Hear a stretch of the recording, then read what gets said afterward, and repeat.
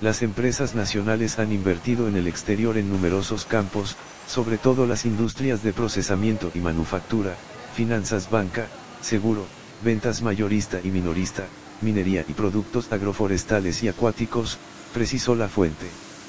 Según datos oficiales, Vietnam cuenta con actividades comerciales en 24 países y territorios en la etapa de enero a septiembre.